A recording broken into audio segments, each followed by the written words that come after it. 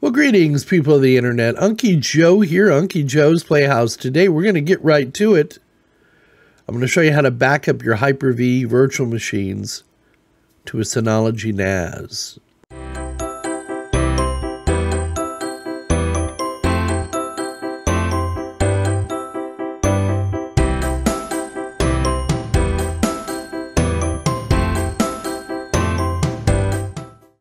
That's right. We're going to use Synology and we're going to back up all of our Hyper-V virtual machines today. I'm going to show you how easy it is to set it up, install it, and get it configured to back up your Hyper-V machines. Now, the two hypervisors I'm still running in my lab are Hyper-V, it's my primary hypervisor, and Proxmox. So I've got a lot of machines created here with Hyper-V, and I want to get backups of them so that if something happens, I've you know I've got some recovery and it'll show you one of the main reasons that I tell my clients to purchase a Synology NAS to run their small medium business. So let's get started right now.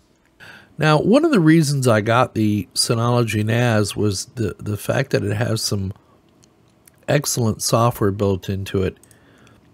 If we come over here to my, uh, this is my actually my production Hyper-V server. This is where I run all my phone system, my Docker server, my management server. I have a web server running Plesk. I have a couple of domain controllers. I have a couple of Windows 11 virtual machines, uh, Windows 7 virtual machine. Now, I could just use something like Veeam. I could just export these virtual machines, that kind of thing. But what makes it what what makes the Synology nice is it'll back up all of this stuff for you. So I'm going to bring up my Synology uh, disk station 1621 and we'll log into this. And we'll see if we can't figure out how to set up some backups. So very important if you want to move stuff around or you know restore something later if you have a catastrophe happen I cannot impress enough uh, on on you how to have uh, that you should have good backups, I should say. So I've already installed Hyper Backup and I use it, uh, and I recommend you do too. This is, you know, people complain about the the, the cost of the Synology NAS and that their hardware is underpowered, and I tend to agree with that. But you're also paying for the the great software that Synology makes, and one of those great pieces of software is Active Backup for Business. So I'm going to launch that. I've already had it loaded. Uh, it'll allow you to back up PCs, servers, workstations, you name it. What we're going to focus on today is virtual machines. Now, right now, uh, you can back up VMware vSphere, Microsoft, or Microsoft Hyper-V. So uh, I don't have one in here. I'm going to go ahead and add one. So I'm going to tell it to uh, add one. So click on add. And the server address is going to be, we can either put the Hyper-V, uh, the, or the uh, machine name in here, which is, uh, I think it's a Dell 720. Let's find out. Let's go over to that machine and see what I did call it. Yeah, it's a Dell 720. So, come back here. I should be able to do it this way. Um, we're going to use the Adama account. And we're going to enter that super secret password. Now you'll need um, you'll need an account with domain privileges. We're going to use the uh, we're going to use uh, we might as well uh, let's just keep it at HTTP. Now this is telling you right here. Okay, don't have any idea what that's for. So let's just try it like this, see if it finds the device and is able to load it.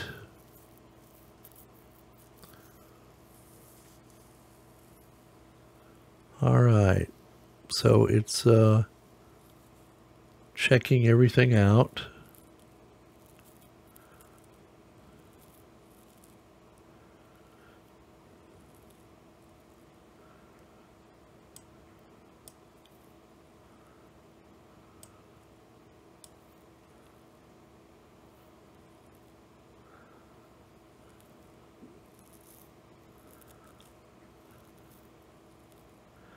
So it failed and it says permission to die. Uh, oh, probably because we need to use the fully qualified domain or the domain name. So UJP slash Adama. Let's try that again. See if we have any luck.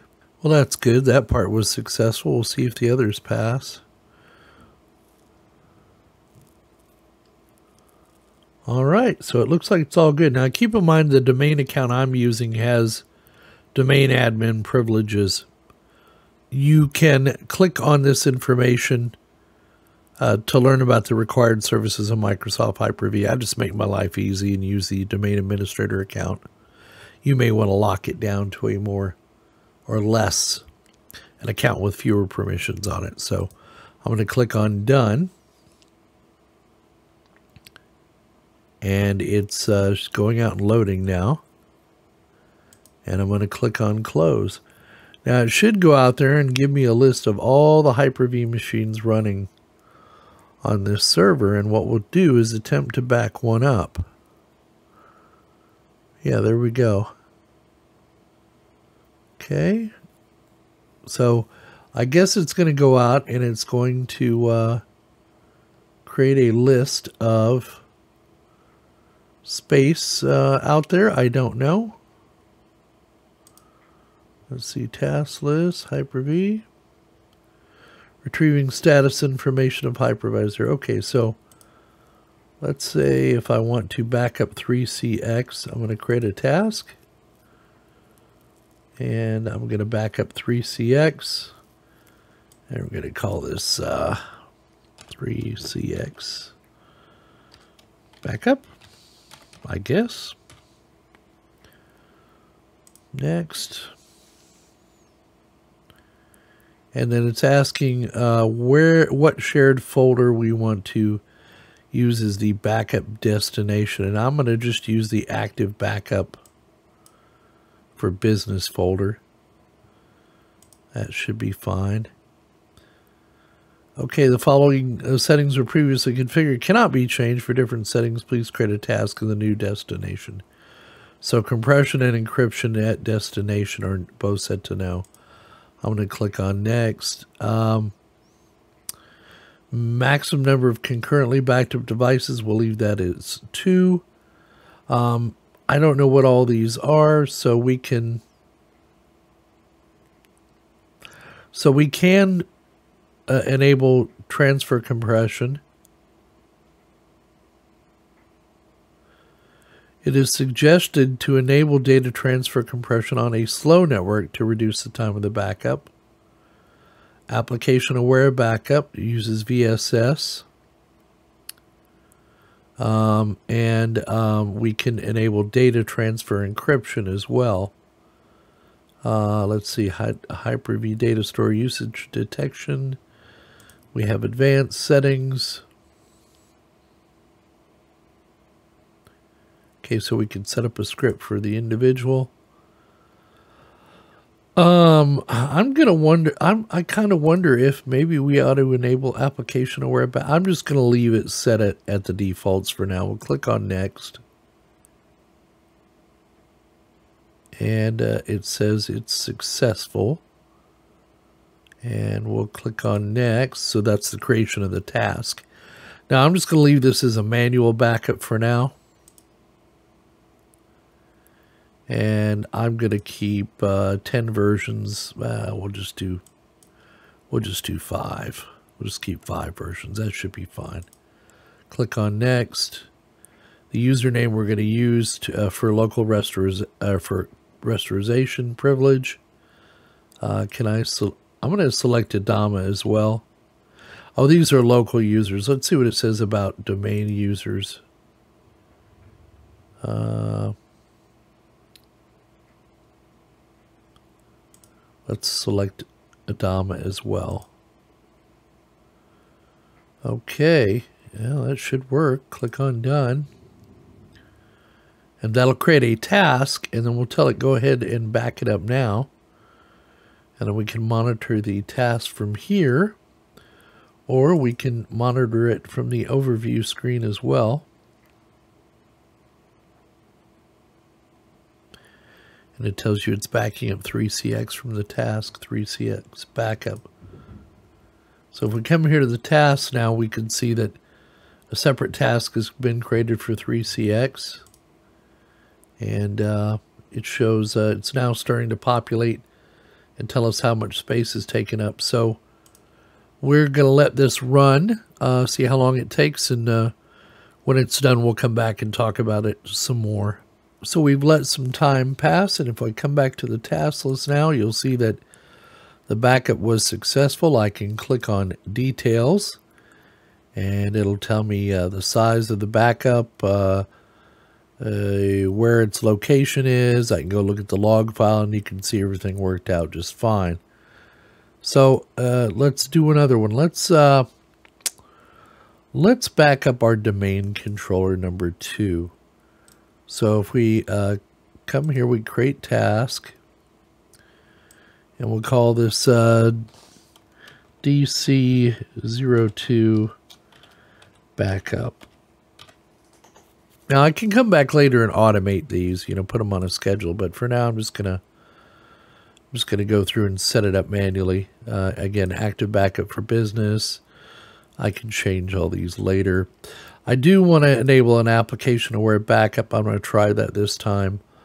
Um, I'm not going to uh, do data transfer encryption. I'm going to accept those settings. It's successful for the post pre backup. I'm just going to do manual next. Uh, I'm going to enable uh, five versions just in case. Click on next, and uh, I'm going to change this to Adama being able to be a uh, person who can restore this. And uh, click on done. And it should ask me if I want to back it up now. And there you go. It's started. And uh, again, we'll come back when when it when it's done.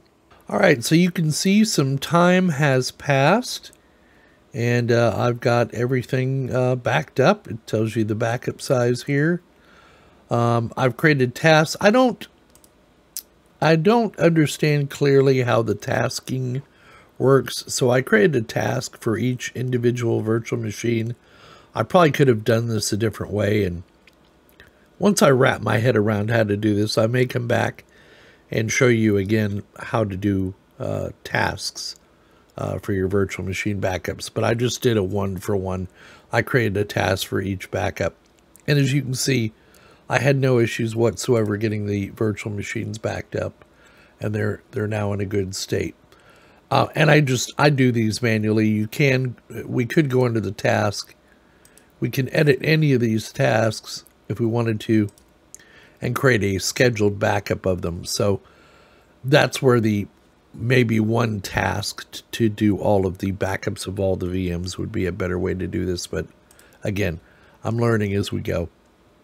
The other thing I can do now is do a backup of a physical server. So I've got my DC01, which is on a uh, an HP thin client I've got Prometheus, which is uh, running a server operating system, as you know.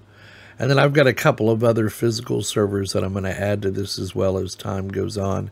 So this one piece of software right here more than justifies, in my way of thinking, the cost of a Synology NAS. You know, a lot of people are going to disagree with me. They're going to say, Unky Joe, they're overpriced, underpowered. Okay, fair enough. They are underpowered. I don't think they're overpriced. This is just one piece of software in the Synology suite of software that you get that makes this server or makes these boxes really indispensable.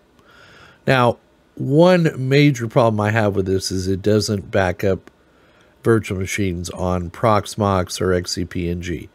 It will do, you know, VMs on uh, VMware vSphere, and Hyper-V. So maybe we can talk to the folks at Synology and get them to support Proxmox. But there, there are other ways to skin the cat, as they say, to do a Proxmox backup, and I'll be sharing those as time goes along. But this one piece of software right here, in my way of thinking, justifies the cost of a Synology NAS, at least for the clients that I do business with.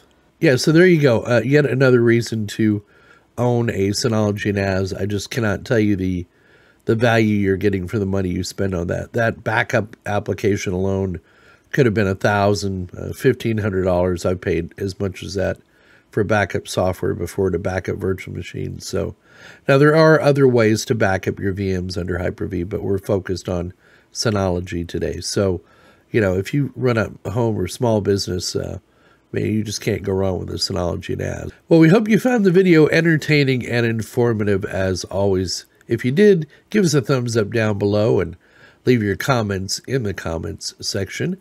Subscribe if you're not already a subscriber and click that notification bell to be notified of new videos when they come out. Donations are accepted and appreciated. PayPal, Patreon, the YouTube join function. And you can uh, simply go to our uh, UnkyJoe'sPlayhouse.com, U-N-K-Y, joe'splayhouse.com. And all of our social media links are there, so you can find us there, including on Discord, where we spend a lot of time together, me and the me and the guys. We got a posse of people over there we hang out with. And I try to do like a general chat on uh, Saturday afternoons, uh, time allowing. So uh, come over there and take a look and see if you like what you see. Uh, there's no charge for Discord membership. So please don't forget to come back and see us. And don't forget, we'll see all of you on the other side.